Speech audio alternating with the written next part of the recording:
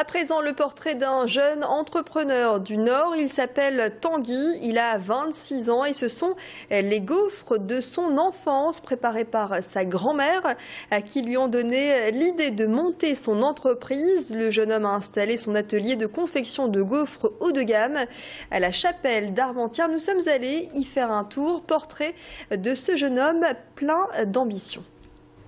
Après des études dans une école de commerce lilloise, Tanguy voulait déjà entreprendre. C'est lors d'un banal goûter chez sa grand-mère qu'il trouve l'idée géniale. Commercialiser sa recette de gaufres que se transmettrait sa famille depuis 1790. Une simple dégustation aurait suffi à convaincre ses deux associés de le rejoindre. On s'est rendu compte qu'il y avait un véritable potentiel parce que c'est une gaufre qui est à la fois très moelleuse et qui est fourrée d'un fourrage donc euh, très onctueux. C'est un produit qui plaît beaucoup. C'est la raison pour laquelle, en fait, c'est juste pour, pour l'amour du produit qu'on a, qu'on a lancé euh, cette aventure.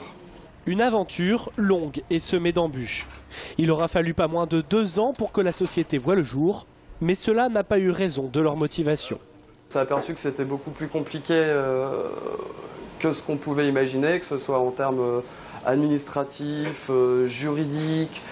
Il a fallu lever des fonds auprès des banques. Enfin, ça prend énormément, énormément de temps. Bonjour, monsieur. Bonjour Tanguy. Meilleurs vœux Merveilleux. Les fêtes de fin d'année sont bien passées Merci. Je vous ramène euh, la marchandise comme convenu.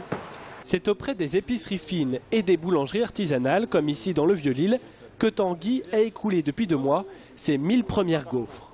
Un succès inespéré dans un domaine concurrentiel, ce jeune entrepreneur prévoit déjà deux embauches supplémentaires. Selon l'expression consacrée, Tanguy ne s'est pas gaufré, ou presque.